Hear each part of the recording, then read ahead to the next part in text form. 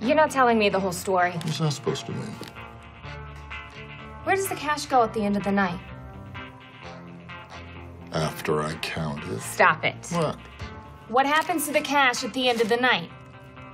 I put it in the freezer. What? My apartment. You got an apartment. I can't sleep on a mattress when bands are getting signed right and left.